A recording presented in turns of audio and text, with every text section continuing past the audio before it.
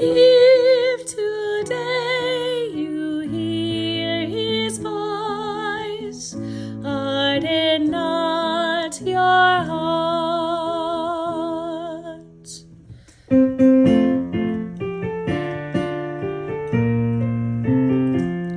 Hallelujah, Hallelujah. give thanks to the risen Lord. Hallelujah, Hallelujah.